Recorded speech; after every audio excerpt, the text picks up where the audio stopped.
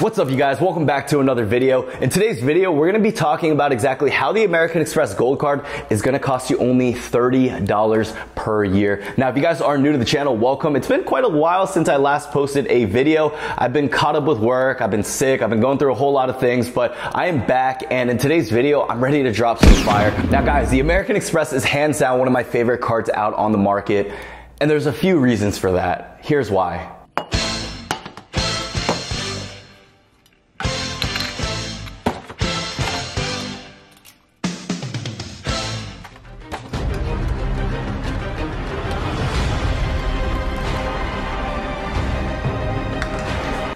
Food.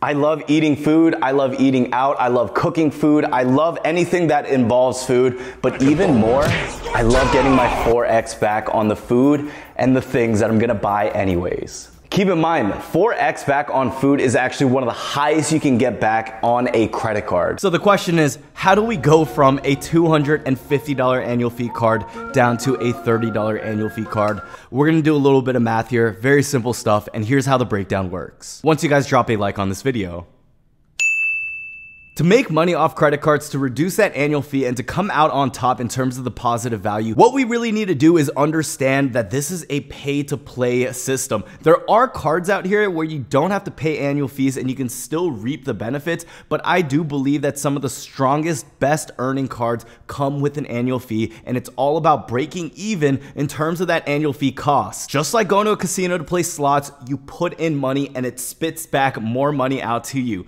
If you're really unlucky, and all your odds go the other way, then you may lose money. I'm paying American Express that $250 initially when I get the card, but I know with all the benefits that it gives to me, I'm getting back more money at the end of the day. So this card also comes with an additional $120 dining credit. The way this is split up is every month you'll get a $10 credit. We have 12 months in a year and that adds up to be $120. You can use this dining credit to Grubhub, Shake Shack, Ruth's Chris's Steakhouse, Seamless, Cheesecake Factory, and and they just added another one too, but those are really the main ones that you guys should consider. It's very easy to use. Now, in addition to that, you do get a $100 incidental airline fee credit. Back in the day, this was very easy to use where you could actually just go out on a selected airline's website partner. You just go on there, you buy a gift card, and a couple days later, it would actually refund you that statement credit. Now, I'm not gonna lie, American Express definitely likes to play games sometimes. They make these credits a little bit harder to use, unlike the Chase Sapphire Reserve, where almost everything everything goes in that category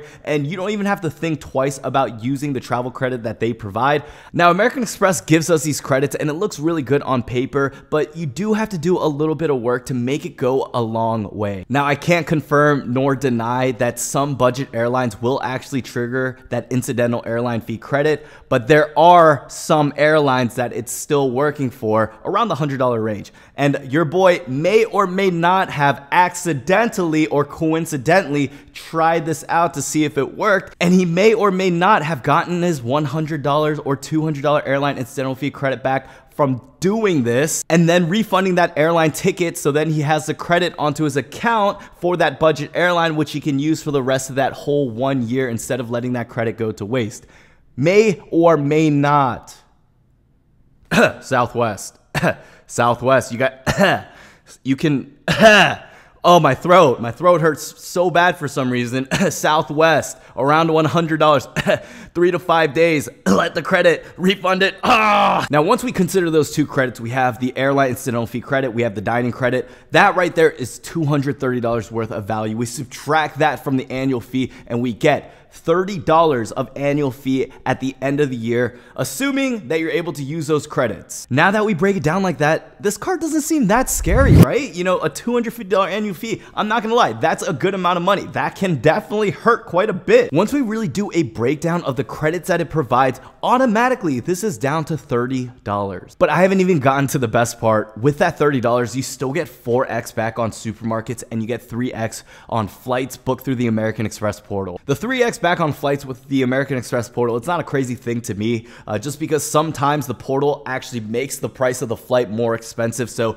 you actually end up paying more money than the cash back you would get. And also, if you have a card like the Platinum card or even the Reserve card, you can find yourself getting the same multiplier, if not more. So in addition to getting the 4x back on restaurants and US supermarkets, we actually get even more additional benefits. Now think about this. You're paying $30 of an annual fee for a card that's gonna give you what I'm about to mention right now. This is Brian. You cannot see Brian. Brian is behind the white screen. You get no foreign transaction fees. You get a personalized travel service. You get the travel collection by the Travel Leader Group. You have the hotel collection. You have car rental loss and damage insurance. You get baggage insurance and you also get ShopRunner. Now, for your average consumer, most people aren't going to be able to use all of those benefits per year. I know a lot of people don't even end up renting a car. Uh, most people just never have. I, I, I don't think it's a huge thing, especially when you're traveling, I feel like there is a luxury of being able to find other options like Turo and just different things like that. So it does come with additional benefits. And I think that's the most important thing to highlight.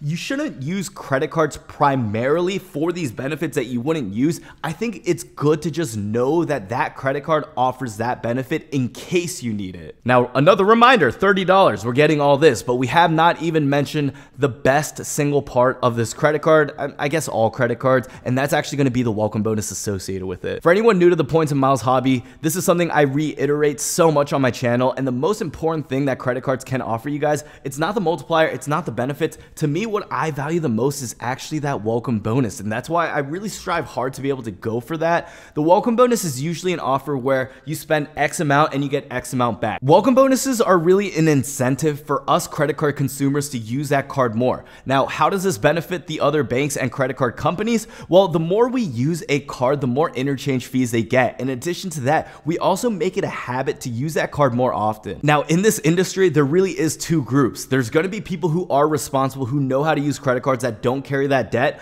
or strategically carry that debt where they do not pay interest. And there are gonna be the other side of the group. And this is pretty much the rest of the world where they do not understand the true face value of credit cards and they actually have credit card debt, which defeats the purpose of all this. When you have a welcome bonus, when you're incentivized to spend four, five, six, seven thousand dollars in a period of a couple months, some people find themselves not being able to pay back that full amount, and that's when they actually owe interest. Now, banks make money through a variety of ways. It's not just through the interest, and that's what I thought in the beginning as well too, but they actually make money in a lot of different ways, and one of those ways is the interchange fees that I mentioned. I made a video on that a while back on my channel. So Brian, how do they make that dough? Kobe.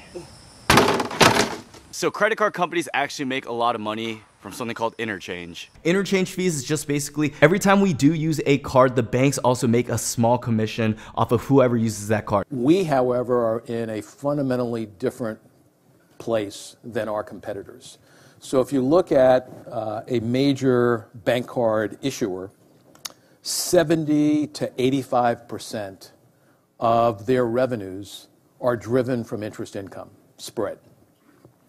In our model, 12 to 15 percent of our revenues are driven by spread. So we actually like people to spend and pay us back. So often people will say to me, you know, I pay you back every month. I'm really not one of your good customers. You're one of our best customers.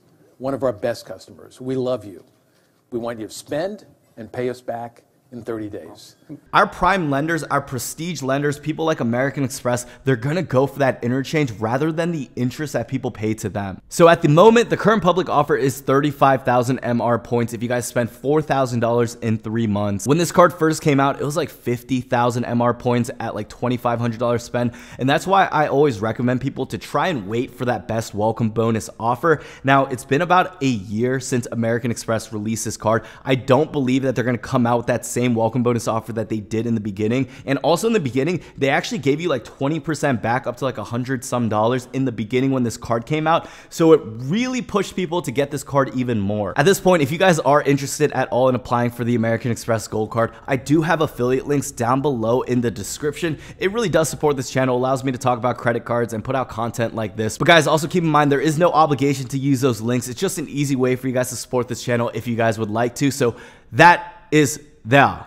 Thank you. Now, here's the thing if you don't use that airline incidental fee credit, if you don't use those dining credits associated with that card, and you're still stuck paying that straight up $250 annual fee, if you guys get the welcome bonus, if you guys are able to get 35,000 MR points, and if we value those points at a very conservative number of 1 MR to 1 cent, then you can actually find yourself still getting $350 back in that $4,000 worth of spend. If you subtract that from the annual fee, you're still coming out on top in terms of the $100 you get back. Now, it's very unlikely that if you're watching this video, you're not gonna use the dining credit and you're not gonna use the airline incidental fee credit. But if you do just put in a little bit of work, you can find yourself getting a lot more value in terms of the money you pay back to these credit cards. But I believe the biggest advantage to the American Express Gold Card, to the membership reward points that you get with it, is being able to utilize all the transfer partners that they have in terms of the traveling that you may do in the future. American Express actually has a huge and wide variety of transfer partners, and they actually have these promotions where sometimes your points can be worth even more if you transfer them out to certain partners,